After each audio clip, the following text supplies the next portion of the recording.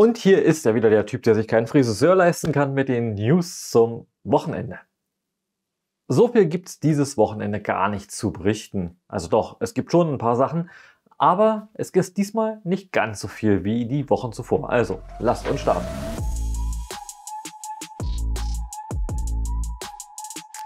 Ohne viel Tara, ohne viel Tamtam, irgendwie stand auf der einen oder anderen Webseite, dass eine neue Printing-Plattform online gegangen ist. Printivox. Ich habe keine Ahnung, woher diese Plattform stammt. So viel kann ich euch schon mal sagen. Einzig und allein, was ich rausbekommen habe, ist, dass der Inhaber der Domain in Reykjavik sitzt und das Ganze sogar an einer Adresse, wo es um einen sogenannten Coworking Space geht. Für Leute, die das nicht wissen, was das bedeutet, der Coworking Space, das sind Büroflächen, wo verschiedene Leute sich einmieten können, stundenweise und zusammen an Projekten arbeiten können. Oder auch getrennt, alleine. Es gibt dann auch einzelne Büros sozusagen und darauf ist diese Domain registriert. Es gibt weder ein Impressum noch irgendwas, woher das kommt. Hm, na gut, was soll diese Plattform eigentlich Besonderes haben? Wir haben ja schon verschiedene. Diese Plattform soll von Maker für Maker sein. Wer dahinter steht, haben wir gerade eben geklärt, wissen wir nicht. Sie soll genauso wie andere Plattformen so verschiedene Kategorien für Mode, Kunst, Fahrzeuge, Gadgets, sucht euch was aus, haben und sie soll die Möglichkeit bieten, kostenlose und kostenpflichtige Modelle anzubieten. Okay, das mit den kostenpflichtigen, das haben wir auch schon in so anderen Plattformen. Ich denke da so speziell an My Mini Factory. Aber hier soll der ja, Knackpunkt darauf liegen, dass diese Plattform sich nichts von diesem Transfer sozusagen nimmt. So ein bisschen sieht die Plattform auch merkwürdig aus, denn es steht da, die Plattform nimmt sich nichts, das Ganze geht anonym über die Bühne. Es hat so einen faden Beigeschmack. Denn es bleiben dort enorm viele Fragen für mich offen. Fangen wir einfach mit dem an, wie schon gesagt, wer steckt da eigentlich hinter?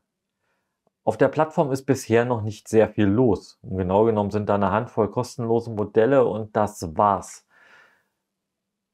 Ich weiß zwar nicht, wie sich diese Plattform etablieren will, aber wenn dort keine Transfergebühren oder sonstiges durch irgendwelche Einnahmen erzielt werden, sei es durch Werbung, sei es durch andere Sachen, das gibt es dort auch nicht, dann stelle ich mir ernsthaft die Frage, wie sich diese Plattform selbst finanzieren will, weil von nichts kann diese Plattform nicht leben es fallen ja auch Gebühren an. Irgendjemand muss diesen Server im Hintergrund bezahlen. Den gibt es ja nicht for free irgendwo an jeder Ecke. Ähm, da fallen immer Kosten an. Und auch wenn es von Maker für Maker ist, dann ist die Modellauswahl darauf gerade nicht sehr, ja, wie möchte ich sagen, sehr aufschlussreich. Dann stellt sich die Frage, wieso eigentlich eine neue Plattform? Viele große Plattformen haben sich etabliert. Wir haben in letzter Zeit neu dazu bekommen. Die älteste Plattform, die mir einfällt, ist Thingiverse von Ultimaker. Dahinter steht die Firma Ultimaker, die das Ganze vorantreibt. Danach kam Printables von Prusa. Dahinter steht Prusa natürlich mit dem großen Namen. Und zu aller guter Letzt haben wir auch noch Makerworld von Bambulab. Und auch da steht, wie gesagt, diese Firma hinter. Es gibt dann noch diverse andere, als Beispiel sei mal hier noch genannt, My Mini Factory und so weiter, wo man tatsächlich auch Sachen kaufen kann. GameBuddy ist zum Beispiel auch so eine. Da sind hauptsächlich Bezahlmodelle drauf. Aber, und genau das ist der Knackpunkt, das Ganze läuft nicht zu 100% anonym. Denn ihr müsst auch daran denken, wenn ihr solche Sachen verkauft, dann tut ihr das in der Regel gewerblich. Bedeutet im Klartext, ihr könnt da nicht einfach so privat zu privat 35.000 Mal das Modell verkaufen, da einen Haufen Kohle einkassieren. Ja, wir leben leider in Deutschland. Ihr müsst darauf Steuern bezahlen. Die Frage ist also, wie wird das hier bewerkstelligt? Denn das geht aus keinem der Lizenzterms bei denen heraus. Und oh, also ich würde sagen, diese Plattform wird eventuell genauso schnell, wie sie gekommen ist, auch wieder gehen. Aber ihr könnt mir einfach mal zu dem Thema da unten einen Kommentar hinterlassen. Wie seht ihr das? Könnte das eine Steuerhinterziehungsoase werden? Wird die Plattform genauso schnell gehen, wie sie kommt? Mich interessiert es.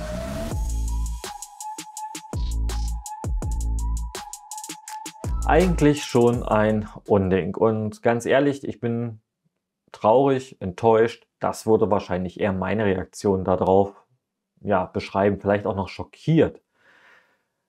Der YouTuber Teaching Tech hatte bereits vor zwei Wochen ein Video zum Prusa XL gemacht. Nachdem er wirklich lange auf das Ding gewartet hat, er hat es 21 bestellt, 22 sollte es kommen, dann hat sich verzögert, da gab es ja verschiedene Sachen. Erst gab es irgendwie Verzögerungen, weil das Modell nicht richtig ausgereift war, weil die ersten Maschinen Probleme machten. Dann gab es Lieferengpässe, dann gab es wieder Probleme, die gefixt werden mussten und so weiter. Hin und her. Und das Ganze hat wirklich lange gedauert. Der YouTube-Kanal Teaching Tech beschreibt relativ gut seine Odyssee und wie viel er am Ende für das Gerät bezahlt hat. Gut, da gab es auch ein paar Probleme, da war er über 5000 US-Dollar das ist eine Hammer-Summe für dieses Gerät. Und was das Gerät nachher abgeliefert hat, ja, das schockierte sogar mich. Denn ganz ehrlich, das ist man von Prusa nicht gewöhnt. Er berichtete zwar auch im ersten Video vor zwei Wochen, dass er solche ähnlichen Erfahrungen mit dem Prusa Mini gemacht hat, aber bei einer Industriemaschine wie der Prusa XL ist eigentlich ja suggeriert und wer, wohin er eigentlich soll. Es soll ja ein Rack Mount-System sein, mit dem man mehrere zusammenstapelt. So wurde es ja auch am Anfang verkauft. Dass das einzelne Anwender kaufen, ist ja auch nochmal ein anderes Ding. Multimaterial über mehrere Wechseldruckköpfe und so weiter. All das scheint nicht so sauber zu funktionieren. Und vor wenigen Tagen hat er ein zweites Update-Video dazu gepostet, was extremst interessant war.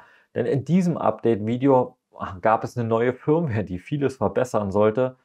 Und auch das funktionierte nicht sauber, weil er im ersten Video ja schon sagte, hm, vielleicht ist es ein Early Adapters Ding. Das bedeutet auf gut Deutsch, ja, der Erste, der so eine Maschine in der Hand hält, ja, der hatte eben schon mal mit Fehlern zu rechnen. Aber angesichts dieser langen Verzögerung und Entwicklungszeit muss ich gestehen, erwarte ich persönlich mehr von so einem Gerät, vor allem in dieser Preiskategorie.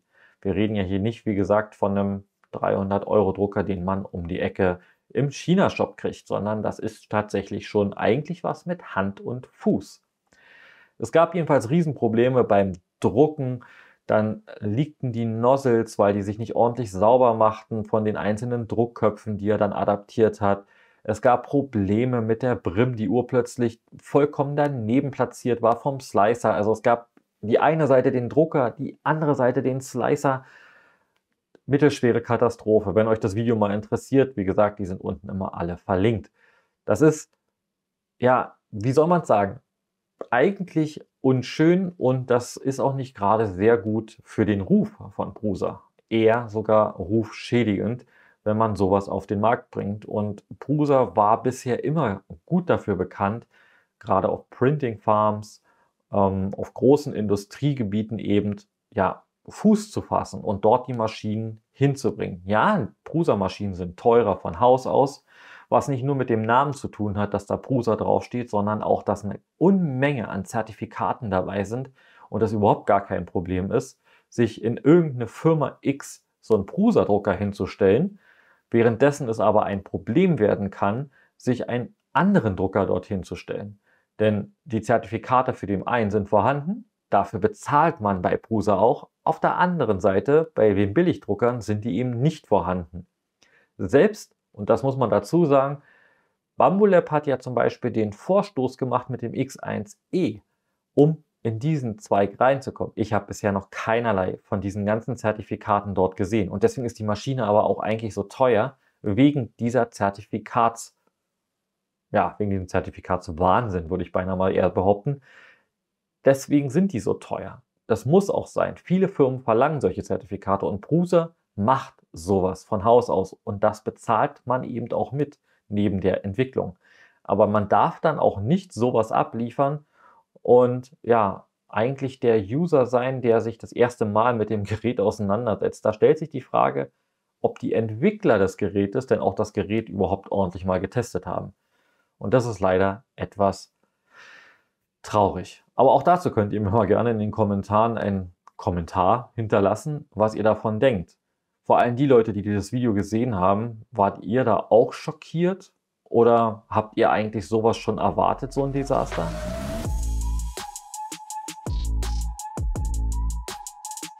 Ja, nun ist es endlich soweit. Der Vorverkauf des Apple Sun T1 und natürlich des S1 hat begonnen. Ja, die News sind jetzt mittlerweile alle komplett durch auf allen Kanälen. Ich sag's gleich vorneweg, wer detailliertere Infos will, als die jetzt hier in der Zusammenfassung kommen, der kann mal beim Kanal von XR Control nachgucken. Er hat ein Video dazu gemacht. Auch das unten in der Videobeschreibung. Das ist sehr ausführlich, sehr gut detailliert beschrieben.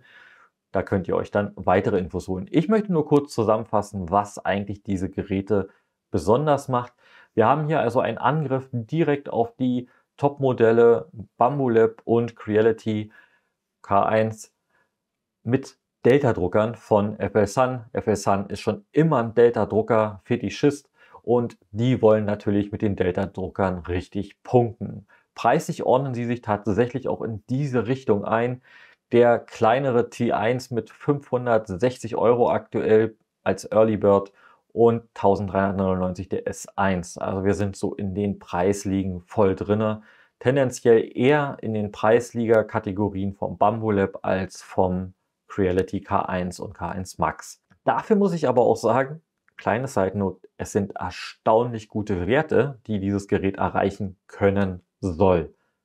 Achtung mit Sternchen, denn können soll, ist auch ja, noch so eine fragwürdige Sache. Wenn wir uns nämlich die technischen Spezifikationen mal angucken, dann kommt irgendwie der T1, das ist der kleine, mit 1000 mm pro Sekunde Druckgeschwindigkeit. 30.000 mm pro Quadratsekunde Beschleunigung und mit 90 Kubikmillimeter pro Sekunde Flow. Da stellt man sich die Frage, welches Filament das noch schafft. Man muss nämlich dazu sagen, das macht einen Unterschied zwischen einem Standard, ich sag mal PLA und einem High-Speed PLA, die speziell darauf ausgelegt sind. Und genau das, denke ich mal, wird hier auch der Punkt sein. Das schafft ihr so unter normalen Bedingungen überhaupt nicht. Also 1000 mm pro Sekunde sauber zu drucken, das ist eine Kunst. Kann sein, dass sie das schaffen. Da lasse ich mich gerne überraschen. Des Weiteren kommt dann noch ein CPAP-Fan, das kennen wir aus der Voron-Community. Ist ein, ich sag mal auf gut Deutsch, ist ein Staubsauger, der aber die an nicht saugt, sondern bläst und mit einem Schlauch runter ans Hotend geht. Das heißt also, wir haben gar keinen Hotend-Bauteil-Kühler, ähm, sondern das wird extern mit einem Luftschlauch dazugeführt. Wir haben ähm, Direct Drive mit einer Nozzle, die bis zu 300 Grad geht beim T1 drinne eine Kamera mit AI-Erkennung, da kennen wir diese typischen Phänomene, Spaghetti Detection, wenn die Bauteile sich lösen, also etc. etc. Und der ist mit einem Bauraum ausgestattet von 260 in der Grundfläche im Radius. Jetzt müssen wir ja aufpassen, das ist ja nicht quadratisch praktisch, sondern es ist ja im Radius und bis 330 mm Bauhöhe. Touchscreen, Plastikgehäuse und fertig ist ein T1. Der S1 ist dann nochmal eine Spitze drauf. Wir steigern nochmal die Druckgeschwindigkeit um weitere 200 mm pro Sekunde auf 1200. Wir steigern natürlich auch nochmal ganz schnell von 30.000 auf 40.000 mm pro Quadratsekunde Beschleunigung. Und natürlich müssen wir auch die Flowrate nochmal mit 20 Kubikmillimeter pro Sekunde erhöhen auf 110. Das ist viel. Der CPAP-Fan, der bleibt noch wie er ist. Wir haben auch wieder Direct Drive, die Nozzle aber jetzt nochmal 60 Grad höher 50 Grad höher, entschuldigt, auf 350 Grad. Dazu kommt noch gepaart, wie es auch die Spitzenmodelle der Konkurrenz haben mit LiDAR-Scanner, damit wir das auch besser scannen können. Kamera AI ist klar, hatten wir bei dem kleinen schon. Der Bauraum vergrößert sich auf eine runde Fläche von 320 im Durchmesser Millimeter und 430 Millimeter in der Bauhöhe. Wir haben dann noch ein Touchscreen, wir haben auch noch einen Bild-in-Filamenttrockner und eine Multi-Heizzone, was ganz praktisch ist, wenn ihr kleinere Objekte druckt, dass ihr nur den inneren Kreis beheizt und wenn ihr wollt, könnt ihr dann den äußeren machen. Wie gesagt, die Preise stehen fest. Lieferbar sind die ab EU-Lager Ende Februar. Beide kommen sie dann in etwa zu euch. Und wie gesagt, wenn ihr mehr wissen wollt, bei XR Control.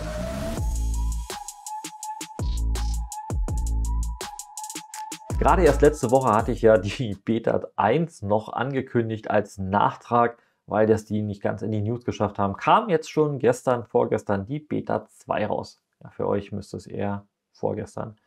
kam die Beta 2 heraus und mit der Beta 2 haben wir auch wieder noch ein paar Verbesserungen vom Bambolab Studio. Da wurden unter anderem nochmal die Filamentvoreinstellungen, dass man die löschen kann, wenn man die zugeordnet hat. Es wurden schnellere Slicen, das wurde also da ein bisschen behoben. Dann wurde das Alignment-Tool verbessert und so weiter und so fort. Es lohnt sich also, wer von euch schon mal die Beta 1 schon drauf hat, auf alle Fälle auf die Beta 2 zu updaten. Denn es gibt einfach die ein oder anderen Fehler, über die bin ich jetzt zwar noch nicht gestolpert, die dort aber mittlerweile gefixt sind. Es gibt aber immer noch eine Sache im Bambolab Studio, die ich krampfhaft vermisse. Wo in aller Herrgottsnamen stelle ich für den X1C verdammt nochmal die Bauraumentlüftung ein? Die fehlt mir immer noch, denn es gibt einfach gewisse Momente, da möchte ich die einfach steuern.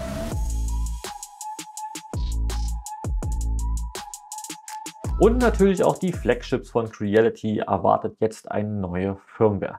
Es gab wieder Verbesserungen, Exclude Object auf der House Web UI. Auf dem Display werden jetzt mehr Informationen zum Rootzugang angezeigt. Die MAC-Adresse auf dem Display wird angezeigt. Es gibt eine Firmware-Rollback-Möglichkeit. Versteckte Wi-Fi-Netzwerke können genutzt werden. Die Prüfung des internen Speichers ist mit drin. So ein bisschen liest sich diese Release-Note wie die davor. Ich habe keine Ahnung warum. Aber hat Creality nur auch die Release-Notes neuerdings schon von der vorherigen Version kopiert? Ich habe keine Ahnung. Eine wichtige Side Note gibt es noch am Rande und das ist wichtig. Wenn ihr dieses Update macht, sichert euch auf alle Fälle alle Daten, sofern ihr Fluid oder Mainsail-Oberflächen benutzt, denn dieses Update überschreibt euch knallhart die Konfiguration. Also vorsichtig, erst die Konfiguration sichern, dann das Update machen.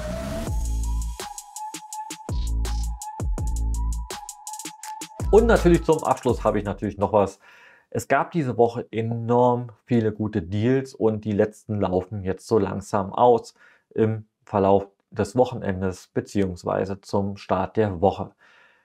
Ich kann euch nur sagen, es gab Spitzengeräte zu Spitzenpreisen. Zum Beispiel unerwartet hat Bambolab ja die Preise nach unten gesenkt für seine Drucker, was bisher nie der Fall war. Absolut unerwartet, auch bei, mit den Leuten, mit denen ich kommuniziere. Alle sind so ein bisschen rücklings umgefallen. Realities K1 und K1 Max Flagship sind auch enorm günstig geworden. Da gab es auch satte Rabatte. Wow, das reimt sich sogar. Vielleicht leben wir alle hier noch ein Jahr länger miteinander. Und natürlich auch auf Filamente und Co. Also wer nochmal so kurz vor Weihnachten jetzt nochmal das ein oder andere sucht, vergleicht nochmal, guckt euch das nochmal an. Rabatte sind immer gut und sich vielleicht jetzt mitzunehmen und sich später nicht ärgern zu müssen, ist vielleicht auch nicht verkehrt. Es ist nicht auszuschließen, dass es noch Neujahrsrabatte wieder geben wird. Wir kennen diese ganzen Spielereien. Chinese New Year ist ja dann auch irgendwann Ende Januar. Also von daher, da wird es wahrscheinlich wieder auch irgendwas geben. Aber wer jetzt nochmal dieses Jahr, glaube ich, was will, ist im Vorweihnachtsgeschäft jetzt so ziemlich gut bedient nochmal. Ich denke, ich denke, ich möchte es nicht, ich möchte es mit einem Sternchen oben versehen, ne? keine Angaben, keine Gewähr auf diese Angaben, muss man ja eher sagen. Ich denke, dass da nicht nochmal so große Rabatte in nächster Zeit kommen, denn das Weihnachtsgeschäft wollen alle gut mitnehmen, nachdem sie jetzt alles ja, zu Dumping rausgeknallt haben. Das soll es dann wieder heute gewesen sein mit den News. Ich wünsche euch ein wundervolles Wochenende. Ich gucke noch mal kurz. Bei mir hat es gerade geschneit. Es ist jetzt ja, es ist schon jetzt sehr spät, es ist gleich Mitternacht. Es hat geschneit. Ich hoffe, bei euch ist es vielleicht auch ein bisschen weiß und ihr habt morgen eure helle Freude, wenn ihr dieses Video seht und draußen Schnee liegt. Bis zum nächsten Mal, bleibt gesund. Ciao.